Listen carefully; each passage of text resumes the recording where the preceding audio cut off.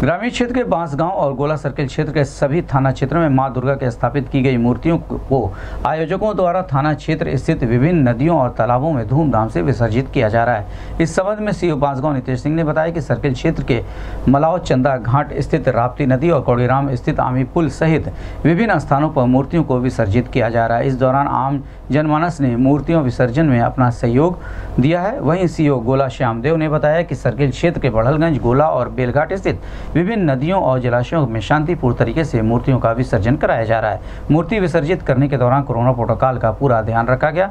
इस संबंध में गौरव पुन्नी से बात करते हुए सीओ बांसगांव नितेश सिंह और सीओ गोला श्यामदेव ने बताया।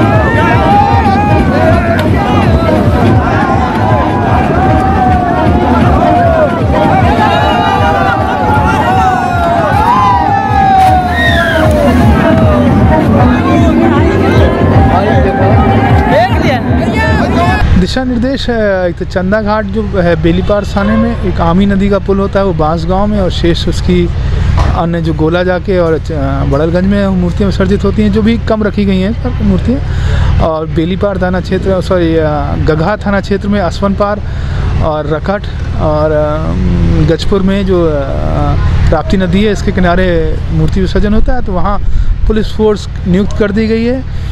साथ साथ ये भी निर्देश है कि वहाँ पर लाइट की व्यवस्था जो सिविल साइड से कराई जाएगी उसके अनुरूप देखें और गोताखोरों को वहाँ रखें मौजूद और लगातार निरंतर ड्यूटी पर रहें समझा बुझा के और सही तरीके से उसका मूर्ति विसर्जन हो, जिससे कोई हादसा या कोई अन्य घटना ना हो। हो हाँ? एक दो मूर्तियाँ विसर्जित हो रही हैं चालू है। हमारे यहाँ चार थाने हैं गोला बड़हलगंज उरुआ और बेलघाट।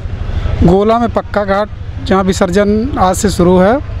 और बड़ालगंज में मुक्ति पथ है। वहाँ पर विसर्जन के लिए व्यवस्था की गई है। उरुआ में धुरिया पार में है और सुपाई घाट बेलघाट में वहाँ विसर्जन की व्यवस्था की गई है, जहाँ पर्याप्त मात्रा में फोर्स लगाई गई है, मूर्तियों के साथ फोर्स लगाई गई है। और बैरिकेटिंग की व्यवस्था पक्का घाट पर की गई है। नाव से गोताखोर की व्यवस्था की गई है जिससे कोई दुर्घटना की स्थिति में तत्काल हमारे गोताखोर एक्टिव हो हों और दुर्घटना ना होने पाए।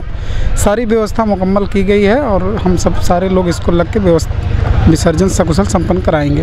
सर गोला सर्किल क्षेत्र में कितनी मूर्तियाँ अभी स्थापित की गई हैं? गोला सर्किल क्षेत्र में कुल डेढ़ सौ मूर्तियाँ हैं 150 की संख्या में मूर्तियाँ हैं। जिसमें से अधिकांश आज विसर्जित होंगी। दो चार मूर्तियों मूर्तियों के बारे में ये कहा जा रहा है कि वो कल या परसों विसर्जित होंगी।